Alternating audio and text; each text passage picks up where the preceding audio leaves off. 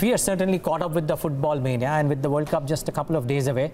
How will a weak ruble allow you to make that trip? Here's Shraddha Babla with uh, our chart of the day. Well, this promises to be interesting, Shraddha. What do you Especially have for for us? you, Neeraj. well, irrespective, for 20,000 fans who are going out there. Shraddha, what do you have for us? So, uh, well, the Football World Cup 2018 may just be a good chance for a lot of people to watch the world's biggest sporting event live from the stadium. And why do I say so? Well, it's a favorable foreign exchange rate. Now, if you look at the Russian ruble, that has uh, depreciated by about 8.3% versus the US dollar so far this year, making it the sixth worst performing currency among the 147 currencies that are tracked by Bloomberg. And that could actually make tra your travel to Russia a little cheaper, at least in US dollar terms. Uh, just to say, um, you know, for the Indians, the Indian rupee has appreciated by about 3.1% against the ruble in 2018.